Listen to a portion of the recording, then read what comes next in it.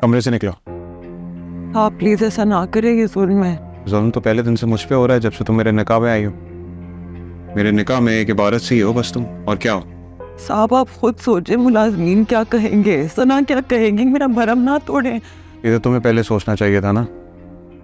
तुमने नहीं सोचा? तो जो तुम्हारे साथ हो रहा है उसे कबूल कर लो। बेगम साहब मैं रूम सेट करवा दिए। Room set? किसका रूम सेट करा दिया सारा बीबी के हिसाब से रहने के लिए। तुम्हारा दिमाग ठीक है? कोई ज़रूरत नहीं है सेटिंग करवाने की।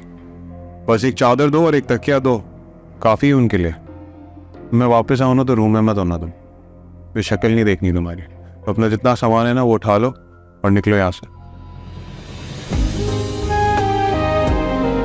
इतना कुछ हो गया रस्सी का बल नहीं गया।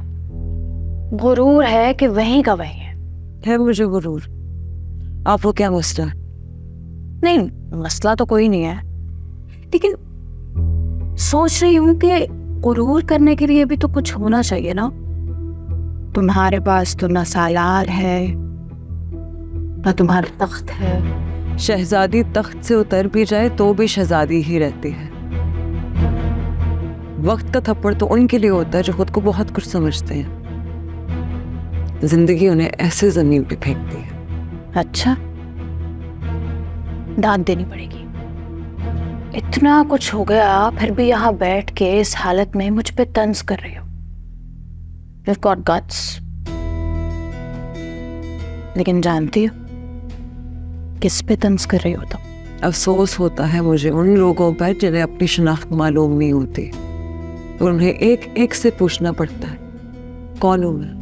अपनी ना औकात में रहो तुम मैं तो अपनी औकात बहुत अच्छे से जानती हूँ। आप शायद भूल गई हैं कि किसके सामने सर झुकाए भीख मांग रही हैं। औकात का जोम आपका टूटा है मेरा नहीं। दिमाग मत खराब करो मेरा। उसके कमरे से तो निकल ही गई हो। ये ना हो कि ज़िंदगी से भी निकाल दूँ तुम्हें। मोहब्बत होती तो शायद निकाल देता है। लेकिन मैं उनकी जिद हूँ। आप चाहकर भी मुझे उनकी ज़िंदगी से निकाल नहीं सकती। ये तो वक्त ही बताएगा।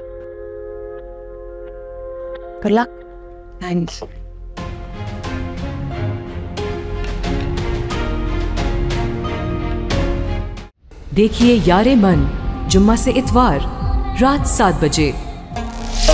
सिर्फ़ ग्रीन एंटरटेनमेंट पर।